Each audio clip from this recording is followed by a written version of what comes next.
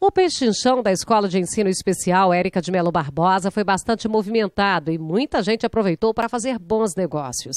De acordo com a presidente do Lions, Sueli de Moura, a comunidade atendeu aos dois chamados, o de doação e o de compra.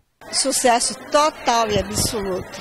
Mas como assim as pessoas compareceram e assim a televisão, chamado que a televisão deu pra gente, a gente quer agradecer muito, porque é sempre os veículos de comunicação né, que nos ajuda e o resultado é um sucesso absoluto. Este ano, assim, as doações assim, é, é superou as nossas, as nossas expectativas, sabe? Foi assim muito bom. Todas, as pessoas nos doaram muito, muito mesmo. Toda a variedade de produtos produtos pôde ser comprada, desde móveis a roupas, calçados e acessórios.